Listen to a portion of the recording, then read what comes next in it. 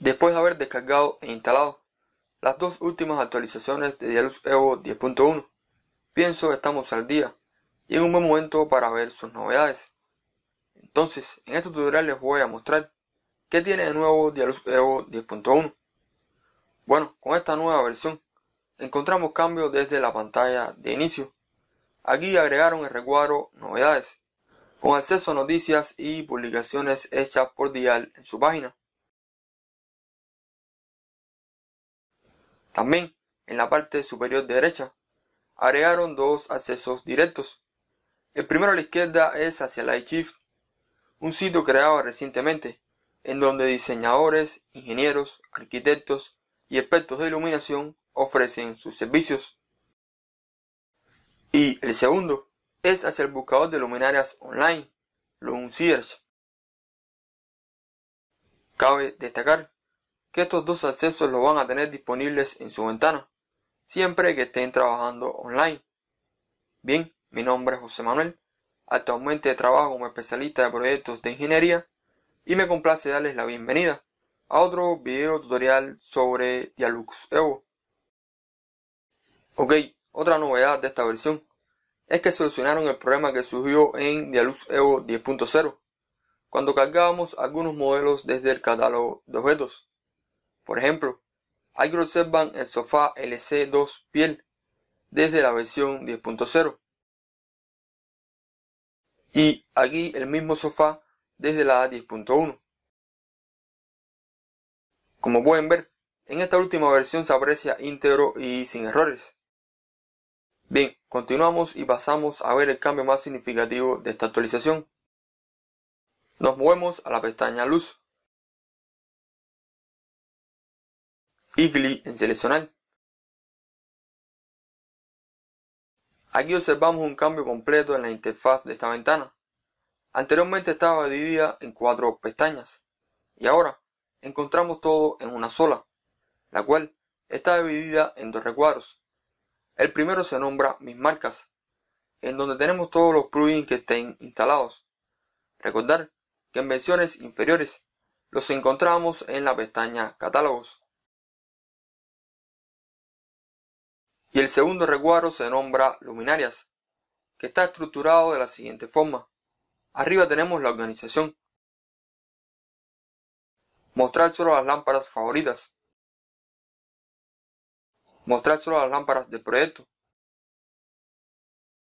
Mostrar solo luces de emergencia. Mostrar solo lámparas de los miembros de Dialux seleccionados. Por ejemplo, si seleccionamos Igusini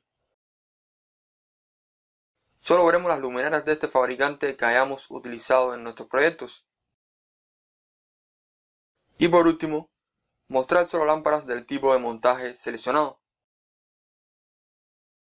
Un poco más a la derecha, tenemos otras opciones de organización, por fecha de utilización, por nombre de la luminaria, de las marcas, por cantidades, por flujo luminoso, potencia de conexión, temperatura del color, por tipo de montaje o luminaria de emergencia. Y mediante esta flecha que tenemos al lado, la clasificamos en orden descendente o ascendente. Ahora, debajo en la esquina inferior derecha están las vistas. Sencilla, detallada o de icono grande. Y para finalizar en la esquina inferior izquierda tenemos la comparación de las luminarias que anteriormente la encontramos aquí donde está la nueva función enviar consulta. Y al lado de comparación de las luminarias la herramienta importar archivo de luminaria que en versiones anteriores la utilizábamos desde el recuadro luminarias.